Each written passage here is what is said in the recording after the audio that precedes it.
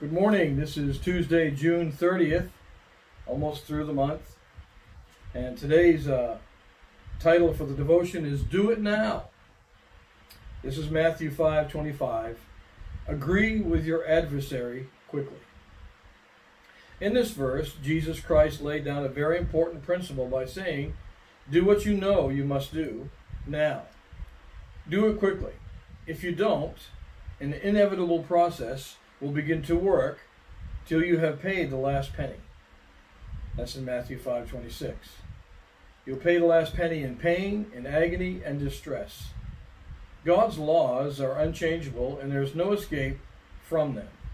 The teachings of Jesus always penetrate right to the heart of our being, as they must. And I, and I pray that always takes place in our lives, that the teaching of Jesus Christ through God's Word always penetrates right to the heart of our being. That's what stirs us. That's the convicting power to change and get stronger in the Lord.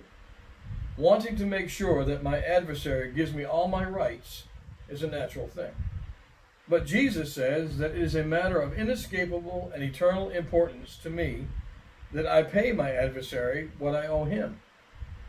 From our Lord's standpoint, it doesn't matter whether I am cheated or not. But what does matter is that I don't cheat someone else. Am I insisting on having my own rights, or am I paying what I owe from Jesus Christ's standpoint? Do it quickly. Bring yourself to judgment now. In moral and spiritual matters, you must act immediately. If you don't, the inevitable, relentless process will begin to work. What he's saying there, if we know there's something that we need to surrender to God, we need to do it now. Do it right now. Surrender to God. If we don't, it's going to continue to erode away at our spirits. God is determined to have his child as pure, clean, and white as the driven snow. And as long as there is disobedience in any point of his teaching, he will allow his spirit to use whatever process it may take to bring us into obedience. Again, what a praise. He will use whatever process it takes to bring us into obedience. And I hear people fight against that all the time. And I tell them, well, stop saying you're a child of God. Stop being a child of God. Walk away. Then you won't have this Holy Spirit working on you to make you a better child of God. If you're that upset at the conviction of the Holy Spirit changing and growing and improving us, then stop saying you're a child of God. Little hyperbole, hope you never do that. The fact that we insist on proving that we are right is almost always a clear indication that we have some point of disobedience in our life. No wonder the Spirit of God so strongly urges us to stay steadfastly in the light, walk always in the light.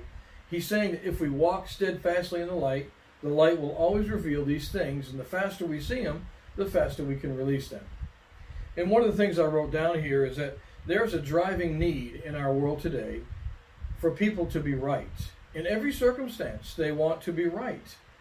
And they can be absolutely 100% wrong according to the Word of God, yet they want to be proven right. And they'll go any distance to prove that what they're doing, how they're living, even if it's sin in God's eyes, is right. Oswald is teaching us to obey the Lord and surrender our need to be right. And through that, perhaps we'll be an example to the world around us. Jesus continues, agree with your adversary quickly. Have you suddenly reached a certain place in your relationship with someone only to find that you have anger in your heart? Confess it quickly. Make it right before God. Be reconciled to that person and do it now. That's a challenge, I know, because the world promotes uh, our rights all the time. Everything, everybody has a right to do whatever they want to do. And that's not how it is. If we can surrender our right and wash feet in the name of the Lord, we're going to grow and be examples of Christ to everybody. So the challenge today is can we surrender our need to be right? Let's pray. Father, thank you for the illustration that Christ gave us in washing feet. And and he was perfect, Lord. It said that when he died, he was found without guile in his mouth, meaning that he had no sin. And yet, Lord, he did not push to be right, even though he was.